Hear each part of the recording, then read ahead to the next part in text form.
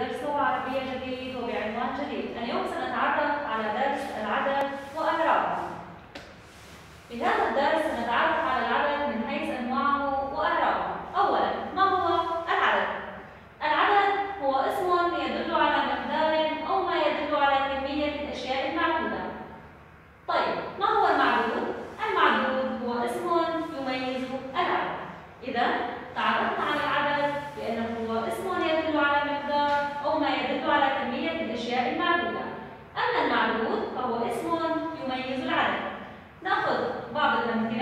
Michael.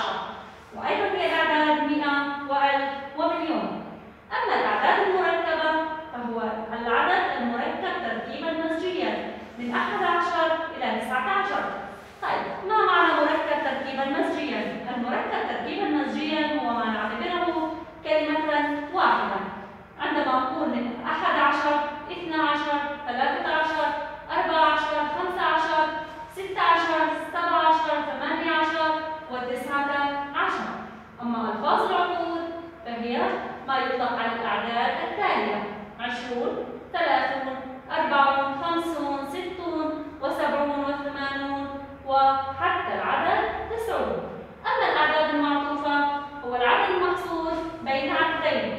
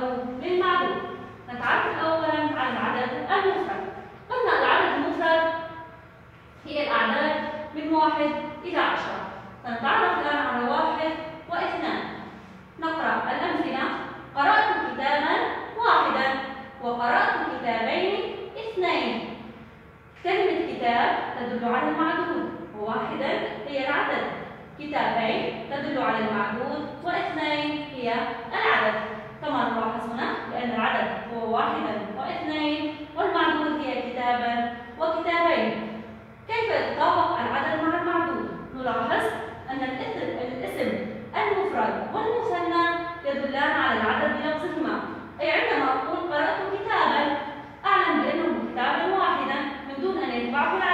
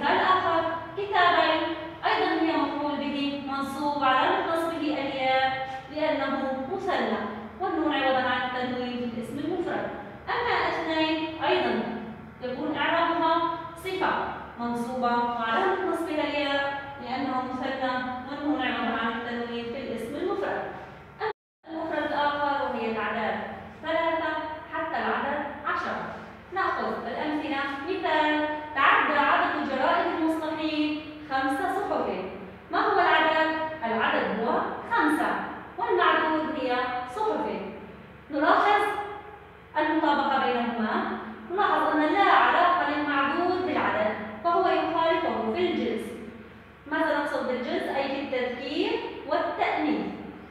آه، نلاحظ أن العدد إذا كان مذكر يكون المعدود مؤنث، وإذا كان العدد مؤنث يكون المعدود مذكر، عملية تبادلية، العدد مذكر المعدود مؤنث، العدد مؤنث المعدود مذكر، لدينا هنا خمسة. آه، صحف صحف هي مؤنثة، العدد يجب أن يكون مذكر، إذا لا علاقة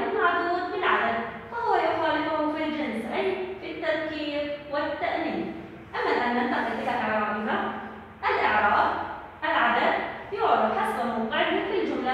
أما المعدود يكون جمعا بالإضافة. أي أن المعدود دائما يأتي جمع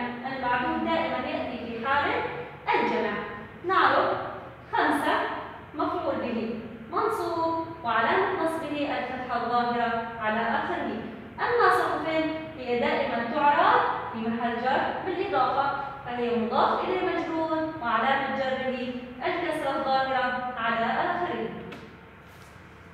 ننتقل الآن إلى الأعداد المفردة المئة والألف ومضاعفاتهما المضاعفات هي أصلا هي المليون المليار هذا ما يسمى بالمضاعفات نقرأ المثال باع تاجر الصحف اليوم ألف نسخة من مائة عنوان صحفي ما هو العدد؟ العدد هو ألف المعدود نسختين في المثال الآخر من مائة عنوان صحفي مائة العدد وعنوان هي المعدود نلاحظ المطابقة بينهما بين العدد والمعدود لا علاقة للمعدود بالعدد لا علاقة له تبقى الكلمة على ما هي إذا كانت مذكر تبقى مذكر عنوان وإذا كانت مؤنث تبقى مؤنثة أما عن الإعراب فالعدد يعرب حسب موقعه في الجملة.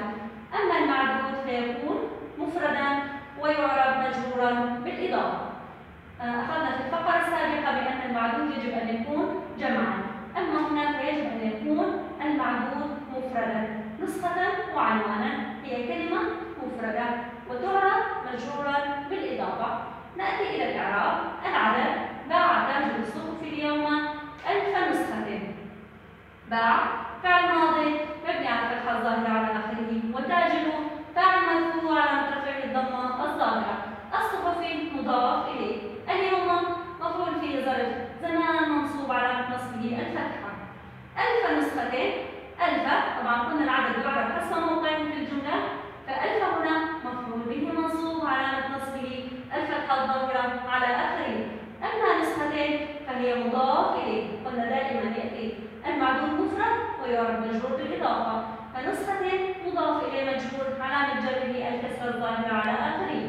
من من حرف جر مائتين اسم مجرور على جره الكسرة الظاهرة على آخره. أما عنوان قلنا دائما تعرب مضاف إليه مجرور علامة جره الكسرة الظاهرة على آخره ننتقل الآن إلى العدد الثاني وهو العدد المركب الأعداد المركبة قلنا هي الأعداد التي تركب تركيبا مزجيا وهي الأعداد من 11 إلى 19 نأخذ الأمثلة أقرأ 11 عنوانا من الصحف أسبوعيا قرأت 11 جريدة ما هو العدد؟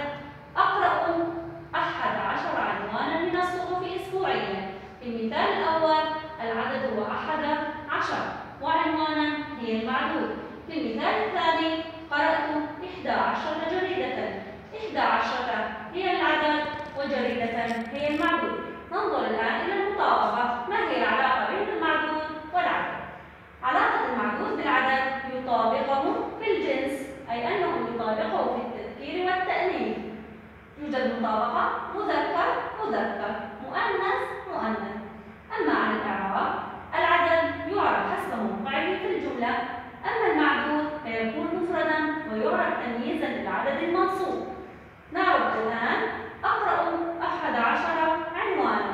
أحد عشر نقول عدد مبني على فتح الجزئين. الجزئين هي أحد والجزء الثاني هو عشر.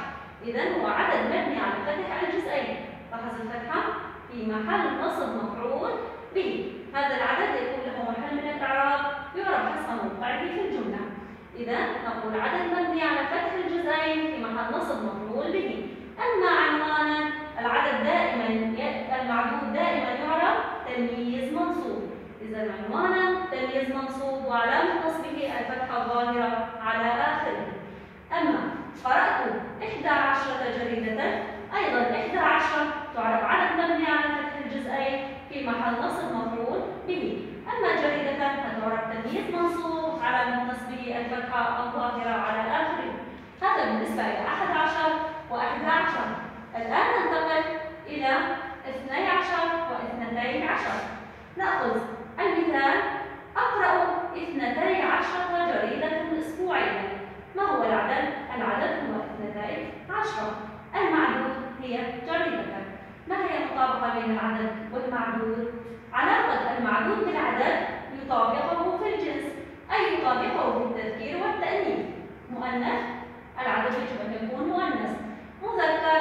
يجب أن يكون العدد مذكر. أما من حيث الإعراب يعرف الجزء الأول إعراب المثنى رفعا وجرا ونصبا ويبنى الجزء الثاني على الفتحين. إذا هنا نجزئ العدد. فقط عدد اثنين عشر أو اثنتي عشر.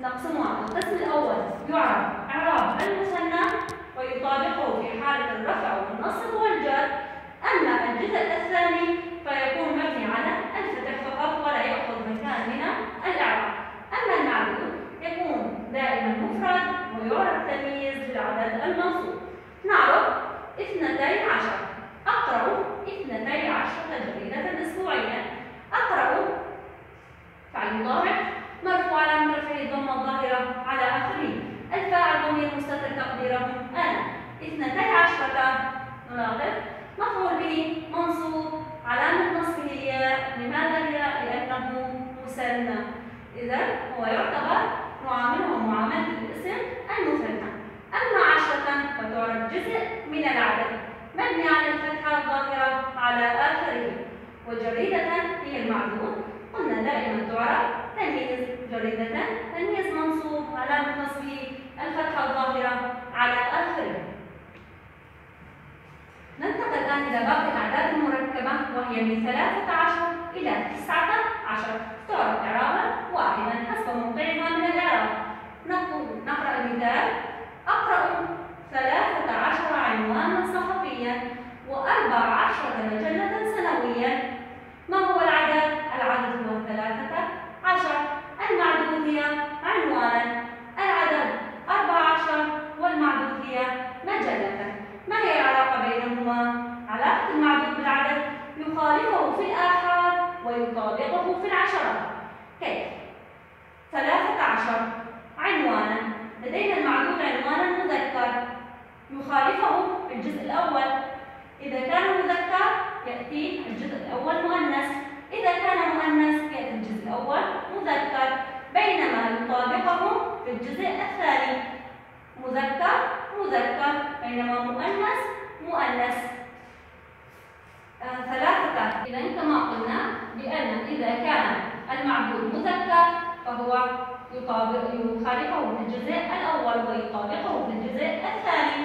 بينما هنا أربع عشر. مجل أربع عشرة مجلة مجلة هي مؤنث نلاحظ بأن الجزء الأول جاء مخالف جاء مذكر والجزء الثاني جاء مطابق له إذا علاقة المعدود بالعدد يخالفه في الآحاد ويطابقه في العشرات أما من حيث الإعراب فيعرب حسب موقعه في الجملة مبنيا على فتح الجزئين يعرب آه كما لو أننا نعرف كلمة واحدة حسب موقعها في الجملة أما المعدود فيكون مفردا ويعرف تمييزا منصوبا للعدد إذا المعدود يجب أن يكون دائما مفرد ويكون تمييز آه نعرف أقرأ 13 عنوانا صحفيا وأربع عشرة مجلة سنويا أقرأ فعل مضارع مرفوع على رفعه الضمة الظاهرة على آخره والفاعل ضمير مستتر تقديره أنا 13 اسم مبني على فتح الجزئين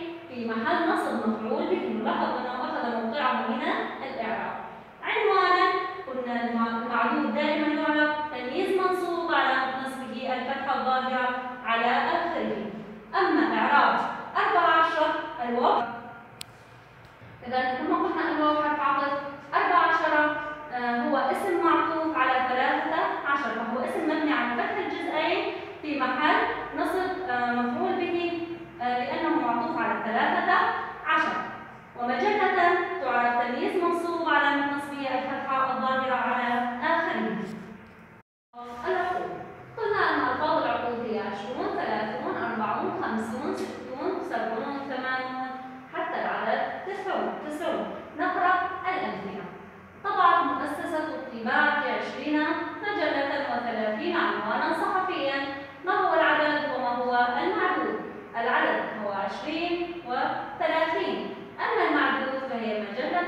وعنوانا ننتقل إلى المطابقة بين العدد والمعدود.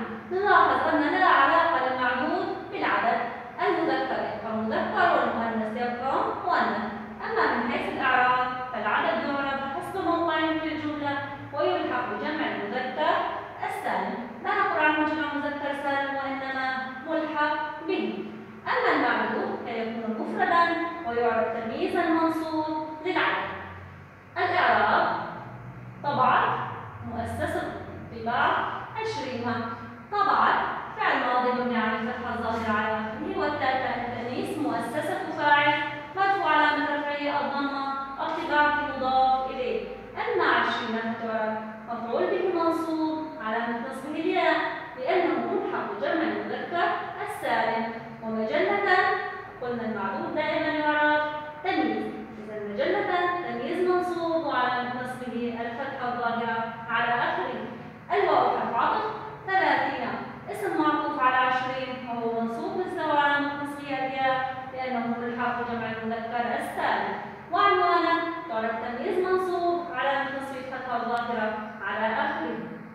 ننتقل الآن إلى الأعداد المعطوفة.